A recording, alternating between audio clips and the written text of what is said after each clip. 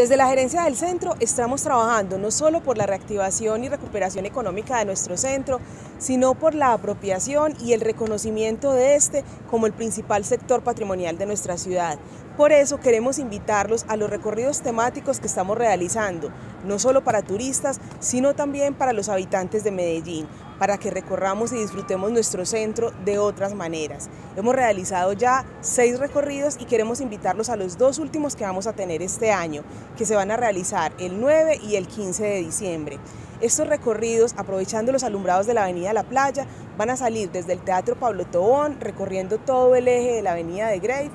llegando a la Plaza de Botero, donde tenemos el homenaje al maestro Botero y a los 20 años de la Plaza Botero y luego terminará en el Parque de las Luces para que disfrutemos del alumbrado navideño. Están muy invitados para que sigamos recorriendo juntos nuestro centro consentido.